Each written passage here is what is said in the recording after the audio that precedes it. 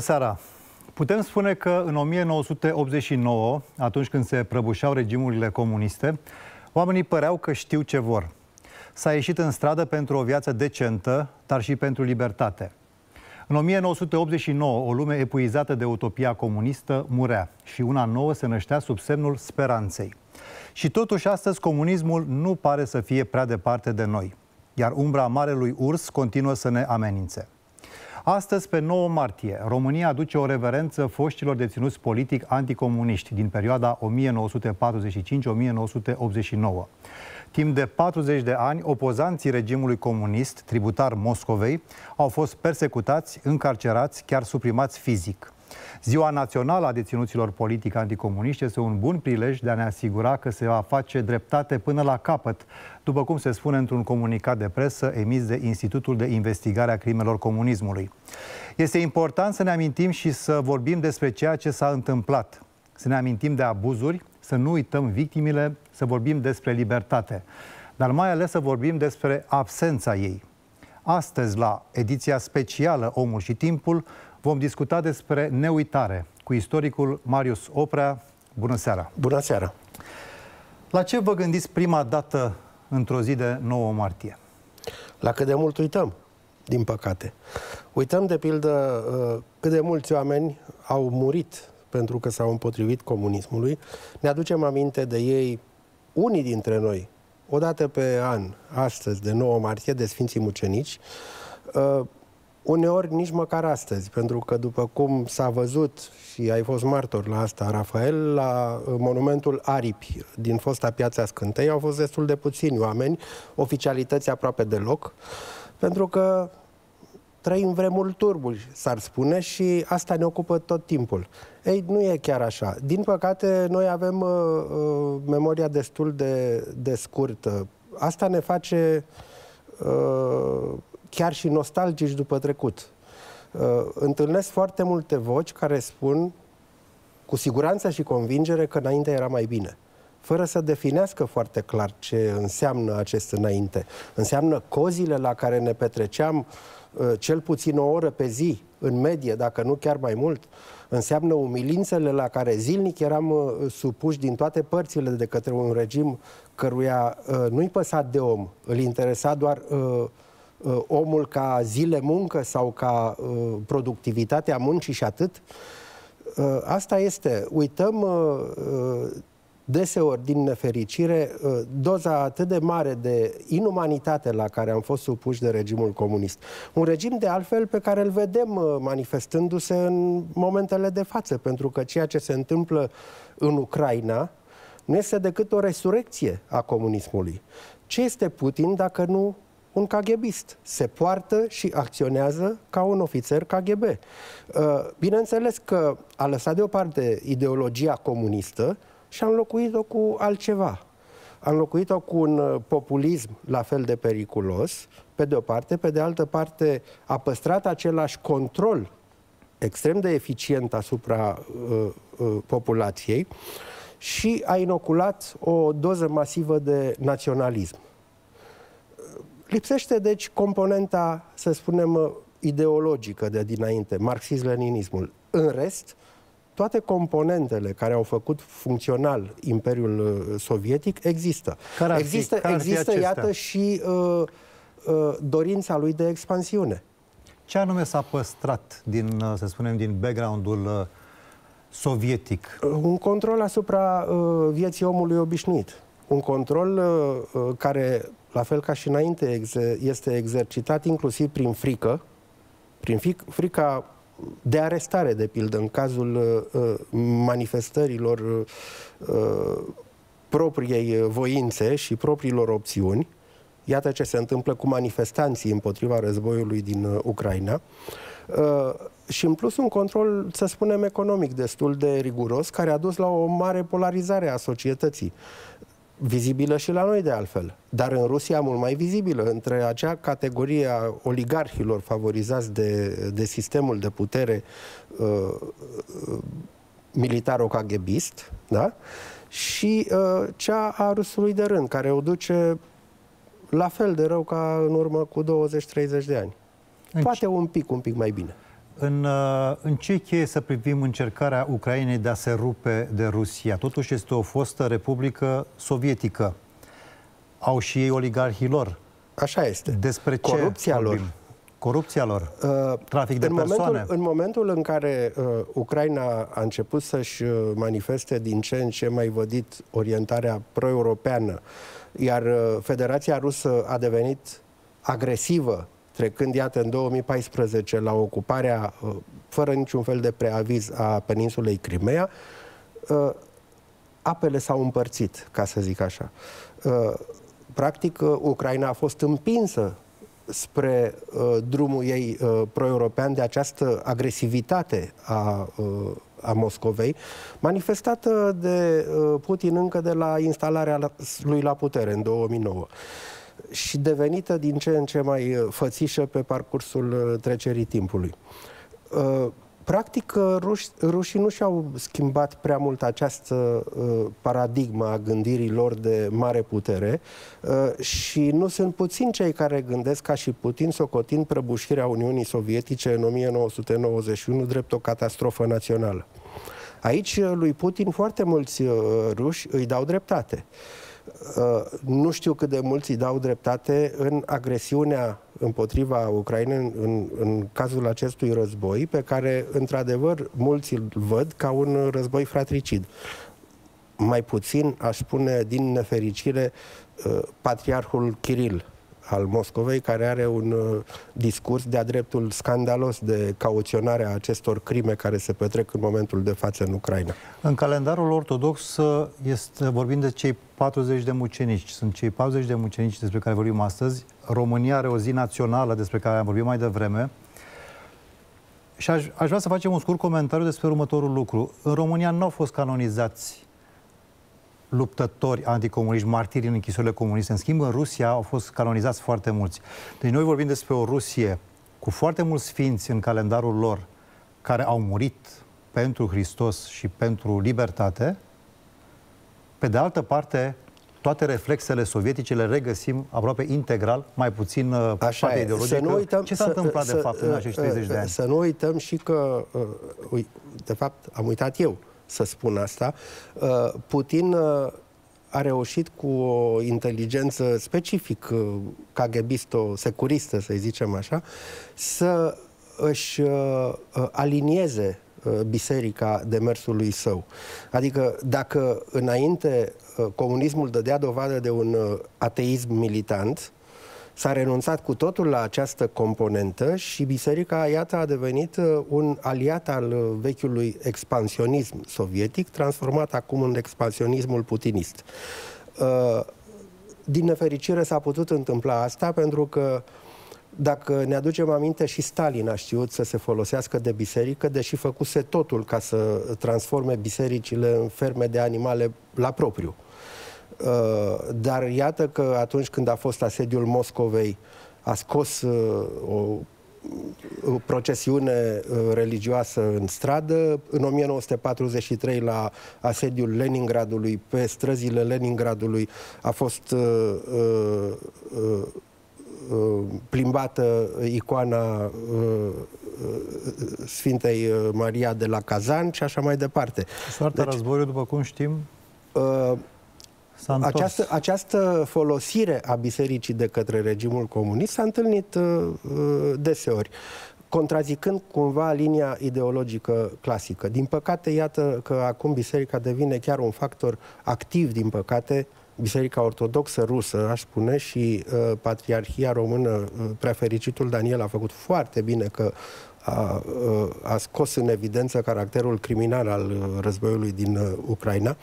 Dar Patriarhia rusă face cumva notă discordantă de la ceea ce uh, se spune în Biblie când uh, vine vorba de uh, uh, crima între frați, de uh, Abel și Cain. Când uh, Dumnezeu spune, uh, adresându-i să lui Cain, sângele fratelui tău din pământ strigă către mine. Uh, Patriarhul Kiril pare că n-a ascultat aceste cuvinte. Dar să ne întoarcem la comunism, nu? Că despre asta uh, vorbeam, Rafael. Uh, Gândindu-mă la ceea ce s-a întâmplat, sau mai bine zis, nu s-a întâmplat astăzi la, la uh, monumentul Aripi, aș vrea, dacă vrei, să găsesc un fel de uh, scuză lipsei de uh, Este public. o zi națională în 2011... Autorităților n-am ce scuză să le găsesc, dar aș vrea doar să spun un singur lucru. Poate puțină lume știe că uh, în ultimii doi ani de zile, în medie, au murit pe lună în jur de 200 de deținuți politic. Uh, dacă în 1989, în, în 1990 mai precis, când s-a constituit Asociația Foștilor Deținuți Politic, erau uh, 64.000 de deținuți politici cu condamnare penală, da? fără să socotim marele număr de uh, deportați, ei bine, în momentul de față sunt mai puțin de 2000. Asta spune destul de mult. Uh, număr, uh, uh, în schimb, avem parte mai nou de un număr foarte mare de urmași ai foștilor deținuți politic, care brusc au descoperit din momentul în care s-a dat uh, legea care le oferă niște compensații materiale, că uh, bunicul sau tatăl lor a avut de suferit în închisoare și repede s-au dus la CNSAS, neexistând acest interes pe parcursul a trei decenii să scoată actele doveditoare pentru a câștiga niște bani de la stat. Uh, mi se pare o, uh, o că a intrat cumva în derizoriu cu această compensație de la stat uh, și Cea mai mare parte a celor suferință. care au suferit în închisori nu s-au bucurat este nici drept, măcar este de acea drept că, pensie. uh, Este drept că mulți copii au avut de suferit odată cu părinții lor închiși. Exmatriculare din școli, uh, imposibilitatea O anatemă care da, era pusă din practic partea destinele societății lor comuniste. au fost uh, distruse. Dar cred că se putea găsi cumva o cale de mijloc la asta. Uh, Lăsând uh, însă discuția asta mai degrabă teoretică la o parte, aș vrea să spun că este greu să ne imaginăm cât de multă suferință uh, a însemnat regimul comunist pentru foarte mulți oameni. Am făcut la un moment dat un recensământ după numărul dosarelor existente în diferite fonduri. Și așa, din câte am putut să-mi dau seama, am uh, uh, ajuns la o cifră. 675.874 de oameni care au fost fie condamnați penal, fie au uh, suferit măsuri administrative. Asta înseamnă pur și simplu trecerea numelui tău pe o listă și trimiterea în lagăr pe o perioadă de la 6 luni la 36 de luni, uneori cu prelungire. Cel, cei mai mulți au stat peste între 3 și 5 ani în lagărele de muncă sau cel puțin uh, uh, trimitere cu domiciliu obligatoriu, deportare. Este o cifră mare. Dacă este să mulțim cu 3, pentru că de obicei au avut de suferit și uh, membrii Soțul, familiilor, soția, da, da. părinții sau Ei copiii. bine, avem de a face cu 2 milioane de români care au avut de suferit în mod direct de pe urma regimului comunist. La o populație de 16-17 milioane de, de oameni, asta spune totuși ceva. Uh, regimul comunist, ca și regimul putinist de acum, a utilizat ca materie primă frica. Această frică s-a instaurat mai întâi printr-o politică activă de teroare. Oamenii erau pur și simplu ridicați pe, de pe stradă, uh, fie prin uh, prisma vinovăției trecutului lor. Da? Fuseseră membri în partidele istorice sau, mult mai grav, membri ai mișcării legionare, fuseseră chiaburi, fuseseră demnitari. La un moment dat, uh, Alexandru Nicolski, în 1949, a făcut o listă cu dușmanii poporului, adică cu arestabili. Lista respectivă avea 519.000 de nume, pe diferite categorii. Mai întâi, Nicolski luase toate monitoarele oficiale din perioada interbelică și îi trecuse acolo pe toți cei care făcuseră parte din guverne, apoi pe toți uh, uh, deputații și senatorii, apoi pe toți prefecții și așa mai departe. Ei bine, uh, a fost ușor de văzut care dintre ei mai trăiește. Așa s-a întâmplat, de pildă, că a fost săltat de securitate până și bătrânul academician Simion Mehedinți, care se apropia de 90 de ani. Bine, i-au dat drumul în cele din urmă, dar Simion Mehedinți avea marea vină că fusese, fusese uh, pentru câteva luni ministru în guvernul Averescu, ministru al educației. Așa lucra uh, comunismul, pe categorii. Și acum uh, Putin lucrează la fel, pe categorii. Da? Iată, uh, conducătorii Ucrainei sunt naziști. Nu X este nazist sau Y este nazist. Se alătură discuției noastre Părintele Radu Preda. Bună seara! Bună seara și vă salut pe toți și mulțumesc că am ocazia să, să salut și pe Marius Sobrea. Bună seara! Vorbim despre Ziua Națională a Deținuților Politici Anticomuniști, 9 martie, și încercăm să înțelegem dacă reflexele din această perioadă de tristă amintire se, s-au perpetuat și dacă nu cumva aceste lucruri influențează cumva evenimentele care au loc acum în Ucraina. A, bine, o clipă. Tot ce se întâmplă acum în Ucraina ar fi de negândit fără, fără politica ODSS-ului, fără moștenirea toxică a lagărului socialist, care s-a împărțit această moștenire în frica și în precauția, inclusiv militară, economică, socială, a țărilor care, odată ce au uitat în UE și NATO, precum Baltic și Polonia, dar și noi sau Ungaria, ă, s-au simțit scăpați de o îmbrățișare incomodă a Marelui Urs. Iar pe de altă parte, Ucraina săracă e un fel de, de, de victimă rămasă pe drum pe care a prins-o din urmă agresorul. Și ce se întâmplă acum, sigur, bine, acum tabloul e mult mai complex, nu vreau să să le luăm pita de la gură faimoșilor analiști de la tot felul de te- te- te- televiziuni care ne bombardează cu știința lor abisală, dar e limpede că comunismul își trăiește de fapt ultimile zile în acest conflict. Comunismul varianta veche, că acum, mă rog, cu neomarxismul sunt alte aspecte. Deci e limpede că ceea ce se întâmplă în Ucraina la ora actuală este uh, uh, prelungirea coadei astea a cometei uh, comuniste, care, uite, ce forță poate să aibă. Noi acum vorbim de un război, de refugiați, de tot ce se întâmplă. Dar gândiți-vă ce a fost în, în epicentrul, în, în miezul fierbinte al fenomenului și ce spunea și Marius Oprea cu, cu listele de, de, de, de arestabili. Asta te înfioară extraordinar, că am postat și eu mm, pe, o, pe grupul nostru, pe Sinopsis o treabă în care vă, vă dați seama că toți cei care acum zilele astea aici am postat anti-Putin, potențial suntem viitori deținuți politici? Și nu e o glumă, nu e o poantă, nu e ce este logic, tocmai am intrat în logica agresorului, acelui care trimite rachetele. Ori asta e pentru ei. Tot ce înseamnă gândire liberă, tot ce înseamnă uh, conștiință, tot ce înseamnă, hai să folosesc un cuvânt foarte gingaș, patriotism, e, e, e de lichidat. Astăzi, astăzi în țară a fost o zi obișnuită, chiar dacă noi avem de mai bine de 10 ani o zi națională dedicată foștilor deținuți politici. Au fost câteva zeci de persoane la monumentul Aripi, o mică ceremonie din partea Institutului pentru investigarea crimelor comunismului din România și cam atât. Pentru că vorbeam de patriotism și mai ales în contextul în care vedem patriotismul tinerilor din Ucraina, în România, astăzi, într-o zi foarte importantă, nu s-a întâmplat absolut nimic.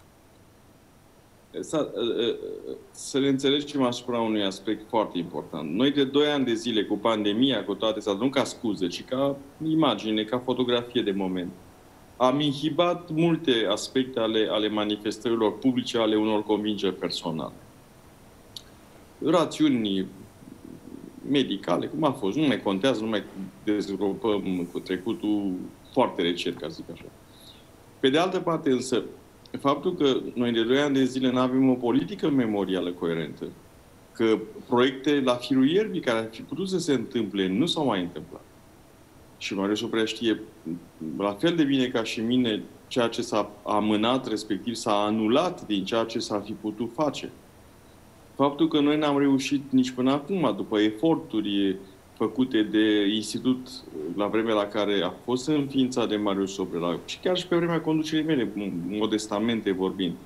Faptul că noi am reușit să mișcăm niște instituții, să, să, să convingem politica superioară de stat că a avea o grijă memorială de aceste victime este un capital pentru statul de drept, de acum și mai cu seamă pentru cel din viitor. Faptul că ne-am rătăcit în mlaștina acestui, acestei delte ideologico-pecuniare, care mai victimă decât care, că, ne că, că tot felul de neaveniți au încercat să pescuiască în aceste ape interesele lor proprii și toate celelalte. Toate acesta, tot acest marasm, toată această, de, toată această demisie morală își vede acum roadele. Deci nu trebuie să, ne fi, să fim nici revoltați mai mult decât e cazul, nu să acuzăm pe cineva neapărat acum că de ce n-a ieșit în stradă. Ma, sigur, ucrainenii la ora actuală sunt o situație imposibilă în care eu n-aș vrea să-i văd pe românii noștri. Faptul în sine că majoritatea sunt la cozile de pașapoarte, că nu se mai fac programări decât la vară cândva, toate arată că în caz de ceva, cam rămânem de unii singuri, nu știu, adică e, nu știu, nu, nu vreau să fac proces de intenții nimănui, Doamne ferește, fiecare își rânduiește viața cum crede și cum poate, dar vreau să spun, a sta locului într-o țară și a, a, la o adică în caz de război, vreau să spun, a fi capabil să o aperi chiar și cu mâinile goale, cum am văzut imagini care te lasă gura căscată, toate astea țin de un etos care, dacă nu se întreține pe vremuri de pace, se răzbună pe vremuri de război. Aș vrea să-l completez pe domnul Preda și să spun că un uh, sondaj de opinie recent pe care l-am văzut arăta că 46% din români spun că uh, ei nu, nu și-ar apăra țara în caz de război, ar prefera să plece și abia de undeva la un sfert spun că da, ar sta locului și ar apăra România. Asta arată ceea ce spunea și domnul Preda, anume un eșec al politicii memoriei. Uh, la noi s-au redus orele de istorie. Despre uh, crimele comunismului nu se vorbește. Uh, nu se popularizează niciun fel memorialistica de închisoare. Figurile eroice ale rezistenței anticomuniste. Se găsește ba că X a fost în frățiile de cruce în tinerețe, ba că Y a făcut nu știu ce și așa mai departe. Deci contravine cumva corectitudinii politice actuale și nu. Să nu vorbim despre el. Așa că încetul cu încetul ne-am lichidat eroii, sau pur și simplu i-am închis în, într-o cămară a uitării printr-o politică de stat, ca să zicem așa.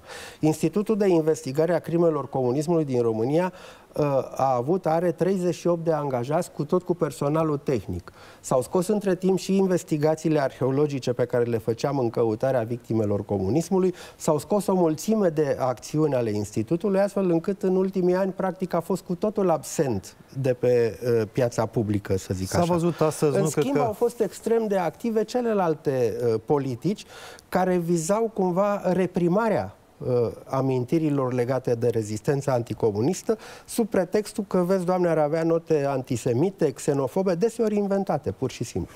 Vestea, vestea posibile recrutări între 18 și 60 de ani a produs un seism în mediul liceal și mediul studențesc, cu precădere, seism pe care l-am resimțit cu toții aici în țară.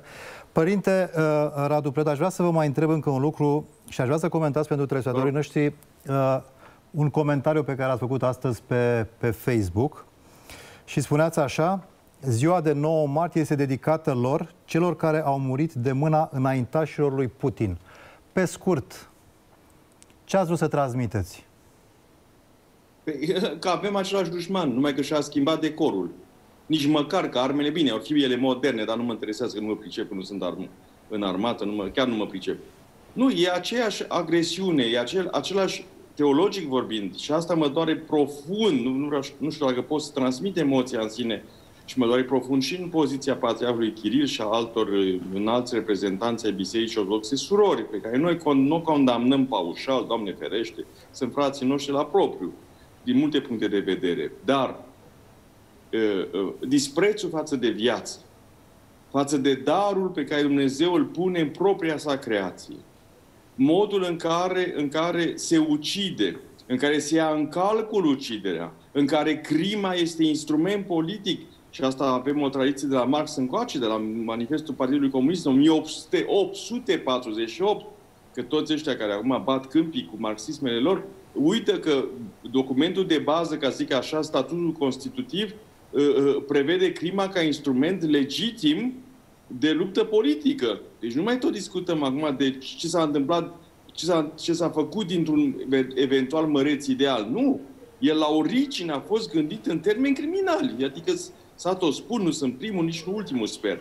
Deci, din punctul de vedere, înaintașii lui Putin și Putin însuși reprezintă o linie represivă o linie uh, antiumană uh, care, care pe noi, totuși, cel puțin ca oameni, n-ai bunului simț, că nu putem spune că suntem mari eroi. Eu, cel puțin, nu pot pretinde despre mine nimica de genul ăsta. Dar ne înfioară și, în același timp, ne pune semne de întrebare în ce măsură poți stăpâni părți întregi din lumea aceasta în dispreț total față de oameni, dar vrându-le să le iei geografia. S-a și spus și asta. Dom'le, poți cuceri o țară, dar dacă pe locuitorii ei nu-i îngenunchezi, degeaba succesul militar. În fine, una peste alta, e, o, e, o, e un moment atât de dramatic. Europa Occidentală, ca o fată mare, a crezut că nu se mai va putea întâmpla așa ceva sub cerul european.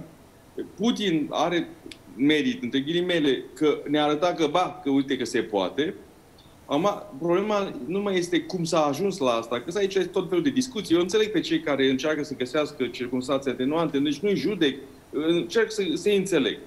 Problema este cum ieșim din toată catastrofa asta. E o catastrofă. Din toate punctele de vedere. Și legal, și uman, și tot ce vreți. Problema este cum ieșim astfel încât nu să salvăm ce se mai poate salva pur și simplu simbolic, ci în primul rând să fie pace, dar o pace întemeiată totuși pe dreptate pe de o parte și pe iertare pe de alta. Ori aici politicile memoriale sunt esențiale. An de zile am tot spus, în continuarea gândurilor lui Marius Oprea și a altor colaboratori și a lui Gheorghe Petrov și a altor oameni de bună calitate pe care îi are încă România, și a lui Cosmin Budeancă și alții, alții ca el. Am tot spus, memoria nu este o armă, ci este o soluție. Memoria nu este bună pentru a câștiga puterea de a o pune în malaxorul câștigării acesteia, ci reprezintă, reprezintă până la urma urmei floarea pe care o punem în, cu respect dezinteresat pe mormintele celor care au murit și la căpătâiul cărora nu putem scrie cu cinism aici zac proștii care au murit ca noi să fim deștepți. Părinte, vă mulțumim pentru intervenția în direct în această seară la Omul și Timpul. Doamne ajută! Domnule Oprea, vorbeați mai devreme despre frică. Două milioane de refugiați deja au plecat din Ucraina, mame și copii în general predominant. Da, aici este... Uh, Care este resortul? De uh, unde? Aici este, după părerea mea, uh, și rezultatul acestui uh, uh, sondaj de opinie dezastruos pe care l-am prezentat. Pentru că aș vrea să fac o comparație. De pildă, în 1964, când uh, uh, Gheorghiu Dej a trecut la acel decret de amnistiere a deținuților politici, decretul în sine a avut un efect paradoxal. Uh, dincolo de presupusa lui latură umanitară, care nici n-a existat, a fost un calcul pervers aici. Anume, uh, eliberarea zeci de mii de deținuți politici din închisorile comuniste a avut un efect de bumerang. A înspăimântat întreaga societate. Închipuiți-vă cum au mers uh, la casele lor niște stafii umblătoare.